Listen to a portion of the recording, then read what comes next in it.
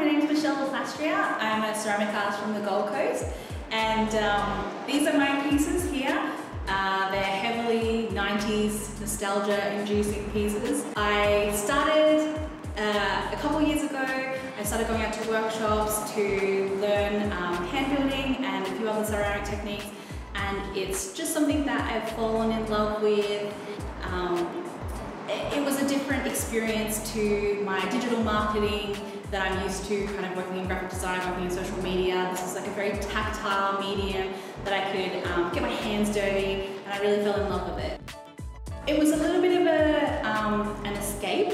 I, a few years ago, went through a couple of workshops and um, it was kind of just as a way to explore creativity outside of the zones that I was used to um, just the, the, the, space, the amount of um, possibilities that ceramics has, the different techniques, the um, yeah, the ceramics world is huge and I've barely scratched the surface. So going through workshops just really made me fall in love with the practice.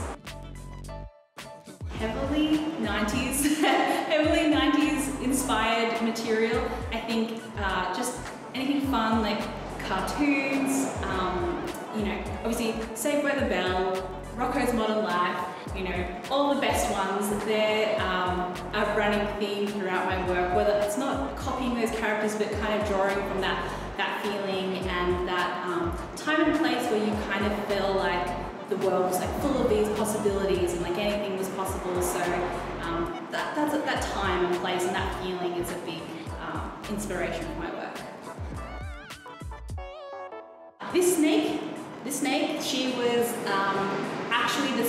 Version that I uh, made. The first one, there was a bit few issues. So I think um, the fact that I've managed to merge this uh, 90s aesthetic into a snake is uh, quite a proud accomplishment of mine, as well as the technical skills that I had to learn and uh, explore to be able to create, create this piece to not only be sculptural but to be functional. She's actually a vase, she's a fully functional vase, so um, I think I grew a lot and learned a lot through making that piece, so she's my favourite.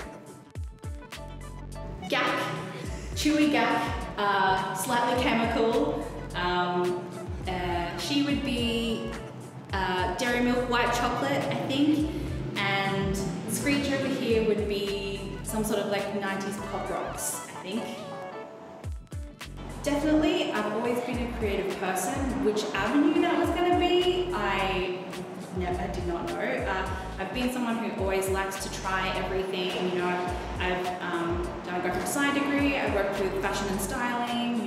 Wanted to be a singer for a small part of my life. But um, ceramics is something that I've really kind of like locked onto and fell in love with because there's just so much to explore with it and I've barely even scratched the surface and I'm a couple of years deep. I think it's the thing that um, could really hold my attention, which is quite hard when it comes to creative practices because I'm just wanting to try everything, but this is something that I've really fallen in love with. So I hosted, I was part of an exhibition earlier this year and I think that that's uh, definitely an avenue that I want to go down and explore further the Australian and Gold Coast art scene is offering a lot of grants for emerging artists at the moment and I think that that's something that hasn't really been available before.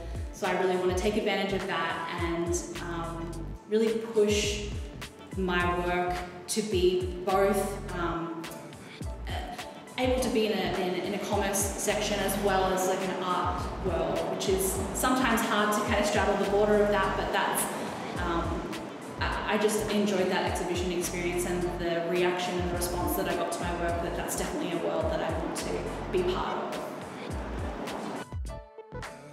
The idea of freedom, the idea of freedom and uh, putting that time that I used to put into my own, my old nine to five job where I was work for someone else, the idea of funneling that energy and all that time into something that's for you is just the best motivator. It's it's varying and it's big that I, I draw influences from everywhere, but um, Keith Haring is probably the biggest influence in terms of big artists. Uh, coming from a graphic design background, I think I love the way the restraint um, in colour from the use of designers. I think that the colour combos that designers use is definitely um, an influence on the way that I kind of plan out a, a piece.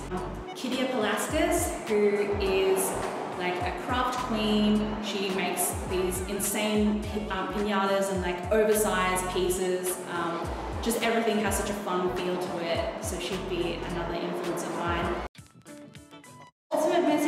Think, is um, that re returning to play, that returning to freedom, that returning to that childlike nostalgia where, again, the world seems full of possibilities and you know, everything just has that extra little shine and sparkle on it. I want that people who engage with my work to feel a little bit of that and to take a little bit of that, that home with them. Functionality is definitely important. It doesn't um, completely rule out something if it's not functional, but I would say that most of my pieces do have a functionality. I do like the, the process of blending something fun that nearly kind of looks like it's not functional. Like I, like I think with the, the cow and the snake, you probably wouldn't offhand know that it was a vase. I think that it's kind of like a little sneaky thing that until you see it's in practice, you don't realize that it's functional. It's kind of like a disguised vase. I'll be hosting two workshops. Uh, one will be creating your own ceramic wall hanging. So you'll be able to kind of let your mind run wild with this one. You will be creating a tile in the shape of your choosing and then you can build, embellish, you'll be learning techniques of carving, sgraffito, um, and then we will um, also get you to add little attachments to it like tassels and stars and pom-poms and all these kind of things that will reattach after firing. So you'll be able to kind of um, create like a little tile of your choice to um, add to your abode. The second workshop that I'll be running is for all the plant lovers. It is a mini planter and again that the options are endless with that one. It can be a hanging planter, it can be um, you know a round square, you know tall planter, whatever you want, whatever little plant baby you have in mind for it. I can help you work through that. So we'll be learning pinch pot, pop techniques and um, yeah, sgraffito again, embellishing, carving. You can have cutouts, you can have scalloped edge. It's very open, but you'll be able to create a truly unique, one